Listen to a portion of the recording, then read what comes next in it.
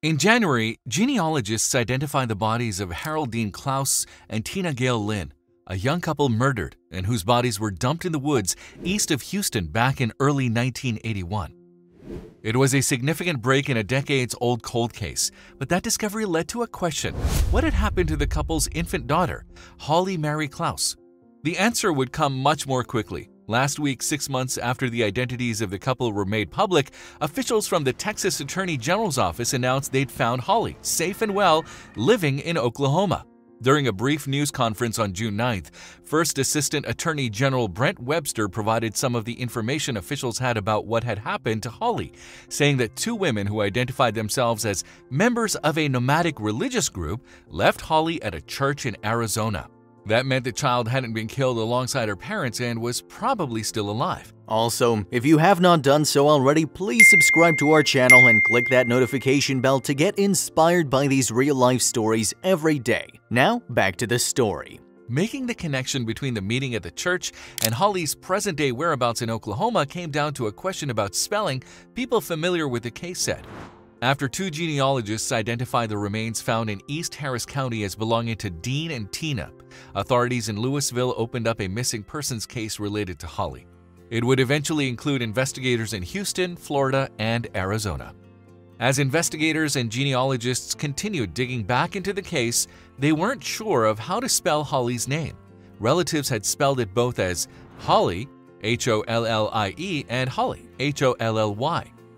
That confusion prompted genealogist Allison Peacock and one of Holly's aunts to request the now grown woman's birth certificate from the Florida Department of Vital Records.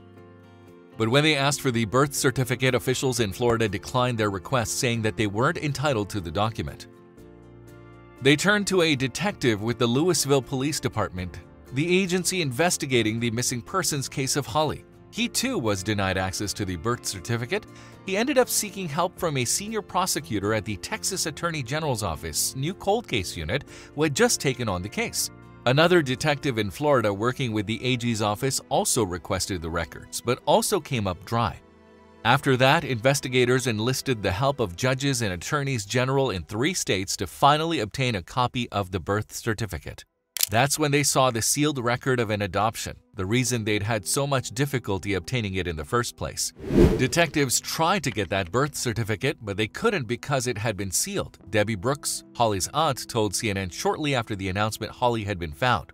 They had to go through a lot of red tape to get it unsealed. Then they saw an adoption attached. In an emailed statement, Texas Attorney General Ken Paxton said the work by law enforcement agencies in Texas and Florida to get the birth certificate was a key component in finding Holly. The birth certificate is what led our investigators in the right direction, he said. After attaining this vital document, a great deal of investigative work still had to be completed in order to identify and locate certain individuals to ensure that they, in fact, had the right person. Detectives ultimately tracked down Holly's adoptive parents and then found her in Oklahoma. Holly, whose last name has changed, has not yet spoken publicly about her experiences. Her adoptive parents are not suspects in her birth parents' killings, authorities have said. Peacock, one of the two genealogists who investigated the mystery of Dean and Tina's identity, said the saga showed the importance of seeking out documents and reviewing the record. In our wildest dreams, we couldn't have had any idea Holly's birth certificate was attached to a legal adoption, she said. And certainly that a quest for the proper spelling of Holly's name and being a stickler for details would end up leading to her being found alive and well. While two mysteries related to the murders of Tina and Dean have been solved, significant questions remain unanswered. Who killed them, and what did the killers have to do with the baby being left at a church in Arizona?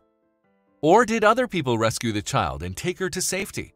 One significant avenue of investigation that cold case detectives are examining is the group whose members gave Holly up at the church and other contacts the slain couple might have had with a cult or religious group. Authorities have provided few other details about the women or the cult they appeared to have belonged to. The women were barefoot and dressed in white robes. First Assistant Attorney General Brent Webster told reporters at the June 9 press conference.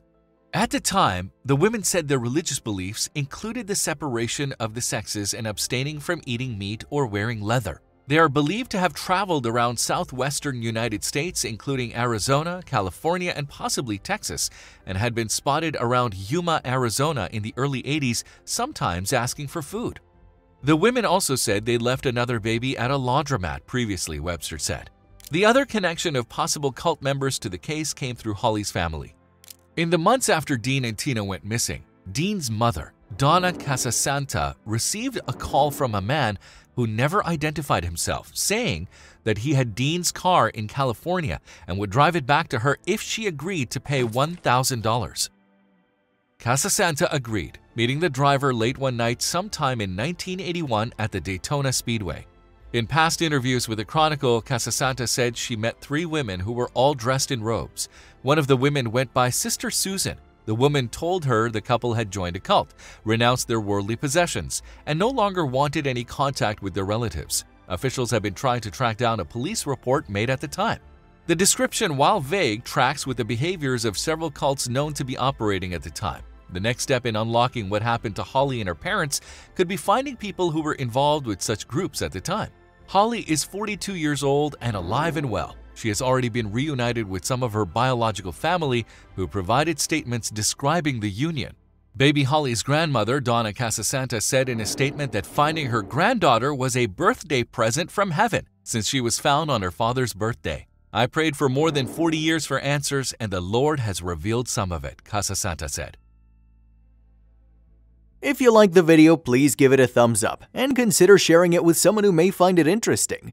Thanks for watching, and I'll see you in the next video.